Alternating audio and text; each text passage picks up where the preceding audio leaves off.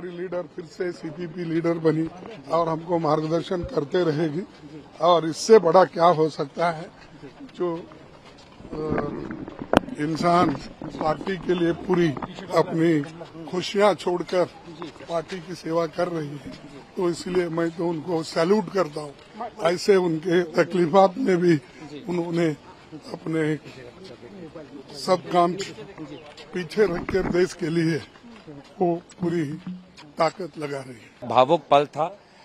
जब हमने दोबारा आदरणीय सोनिया गांधी जी को सीपीपी चेयरपर्सन के हिसाब से उनके, उनका समर्थन किया और उन्होंने इस पद की जिम्मेवारी दोबारा ली।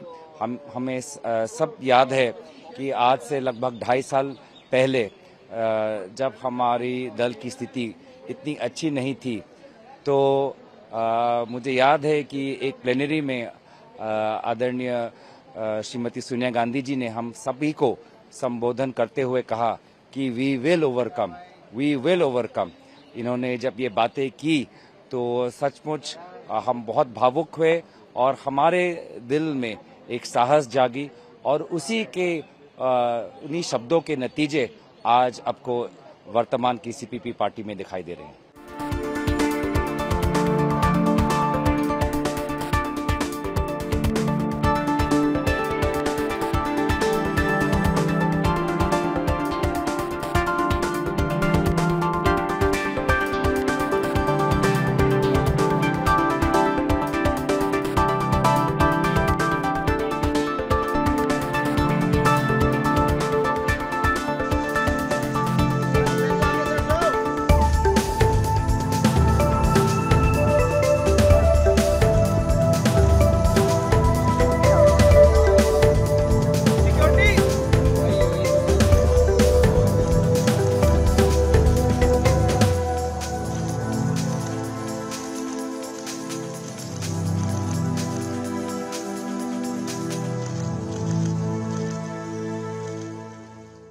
हमसे जुड़े रहने के लिए हमारे YouTube चैनल को सब्सक्राइब करें और नई वीडियो की नोटिफिकेशन के लिए बेल आइकॉन को दबाएँ।